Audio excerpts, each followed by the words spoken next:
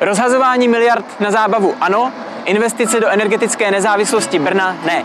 Takto současná koalice od Sáno řídí naše město. Brno mělo tady ve spalovně stavět třetí kotel pro využití odpadu na výrobu elektřiny a levného tepla pro Brňáky. Projekt se chystal 7 let, prošel hodnocením vlivu na životní prostředí, získal stavební povolení, dotaci z Eurofondu 2,8 miliardy, úvěr od Evropské investiční banky a vybrán byl už i zhotovitel. Koalice však v létě z ničeho nic otočila a na včerejším mimořádném zastupitelstvu stavbu kotle stopla těsně před zahájením. A to navíc v tajném hlasování, které jsme tu neměli 17 let. A proč si to koalice odhlasovala tajně?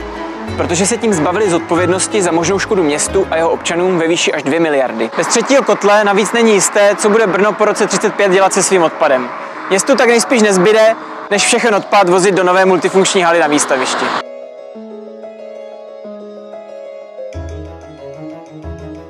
No, tohle jsou přesně ty kamiony, které by tady vůbec nemuseli jezdit, kdyby se dodělala ta železniční vlečka.